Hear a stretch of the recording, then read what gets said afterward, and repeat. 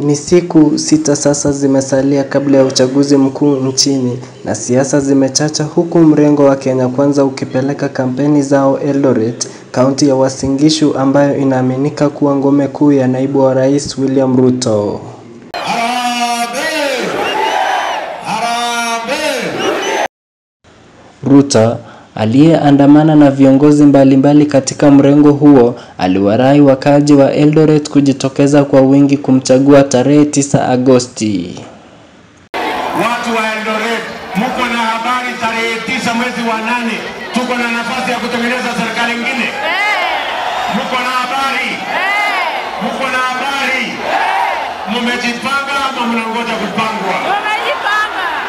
Naibu wa rais vilevile alimkashifu kiongozi wa Azimio Raila Odinga kuwa hana ajenda kwa Wakenya kwa kuwa alisusia mdahalo wa urais. Hana mpango, hana sera, hawezi.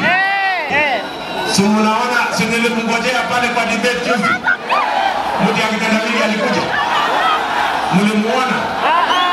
Mlimuona? Si alikimbia? Alitoroka?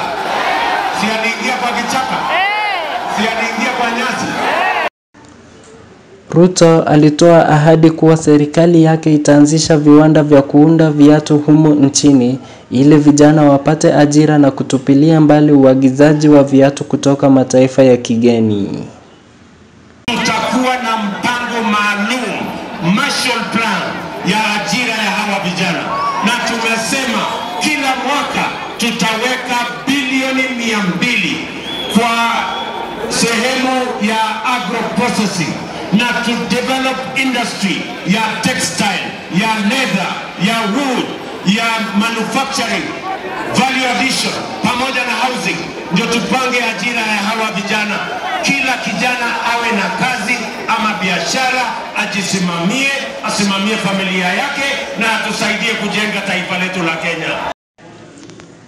Kutoka runinga ya Prudent, jina langu ni Kibichi Joshua.